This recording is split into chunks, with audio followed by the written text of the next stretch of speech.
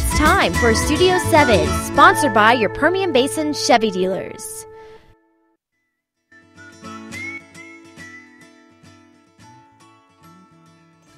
Welcome back. We're joined now with our favorite Job to Fab contributor, Brandy Bell. Brandy, thanks for being here. Thank you for having me. Okay, so how many of us have just random picture frames around our house? All of us, right? Yep, yep. So um, one of the issues with changing your design theme or you know, we put pictures out when our kids are three and four years old, and then they stay there till they're 15 or 16.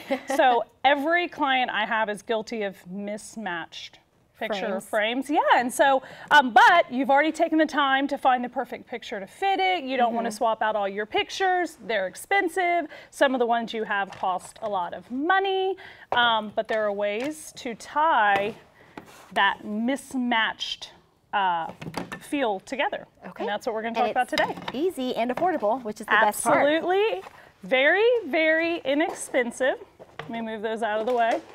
Um, okay, so it goes without saying that I like spray paint. and um, one of the simplest ways to update all your frames is to pick two to three paint colors that all coordinate. And they complement each other. Mm-hmm. Okay. And so I went for this. Actually, this is an actual client's frames. I called her and said, I need some of your picture frames. I know she was looking to update. So I picked three colors that tie in with her home. It's the easiest way to do it. I mm-hmm. picked an ivory, I picked a pale gray, and kind of a French blue.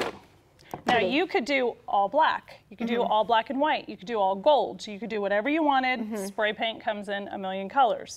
So once I had all of them kind of evenly divided, I sprayed two ivory, three blue, and mm-hmm. two gray. And then to tie those together one step forward or one step further after we've, you know, Spray spray painted. painted them all, we're going to dry brush, which is one of my other favorite techniques because that's how you can tie them all together. so do you normally use a matte spray paint or does it matter? Doesn't matter. Okay. You can use um, Mix and match them? abs- absolutely, and if you're trying to go a little bit more modern, you could paint them all one color in a high gloss. Okay. Mm-hmm. So like high gloss white, high gloss black, high gloss gold.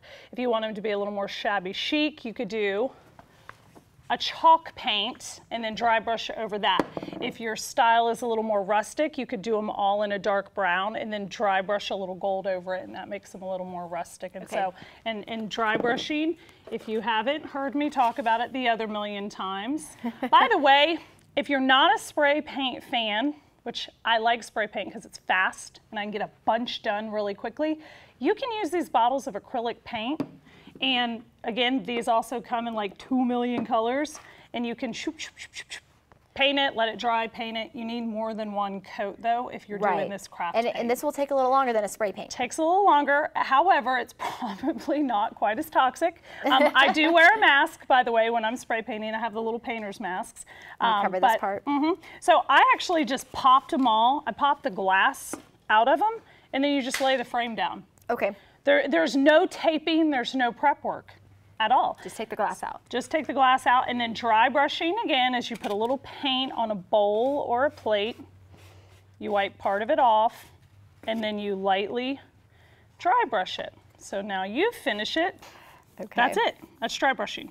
So easy. So easy. And then you can actually dry brush all of them in the same color.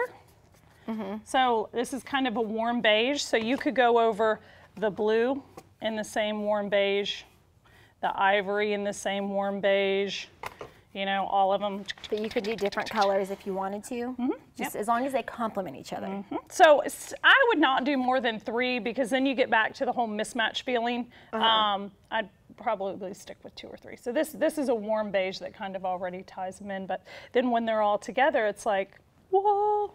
Okay. And is it Brand new. something you would put maybe on a blank wall or just different areas in your house?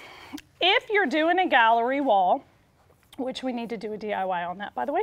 If you're doing a gallery wall, I would definitely stick with two colors. Three may be a little bit much for a gallery wall if you're doing colorful pictures because that's a lot going Mm-hmm. on. But if you're doing black and white photos or sepia tone photo or sepia toned photos, you could for sure do two or three colors. And it Um, would be okay. Yep, and then you can also just put them all around your house. Okay, but a bunch of, yeah, different colors, you put them all around your house and they'll all just kind of feel cohesive. Yes. Stick in a color family and, and you really can't go wrong. Perfect. Well, this is quick, easy, and fun. Something you can even do with your kids, right? Um, No, well, not the spray. depends on how old your kids are. Some parents don't want their kids to have spray paint, but my kids use it. So if not really craft paint, Supervised. supervised. They actually sell uh, at the big box stores the packages of like 10 or 12 blank wood frames. Okay. And they're like a buck a piece. And so that is really, truly a great summer craft. You lay the frames out, give the kids a bunch of craft paint. This is non toxic. You can let them have at it. You can even, one more little, if it's a family event, you could put some of this paint with water in a spray bottle, and the kids can actually spray the, the frames in a little spray bottle, and love they that. love it, and it's so much fun. I So, love that. Well. Brittany, thanks so much for being with us today. Thanks for having me.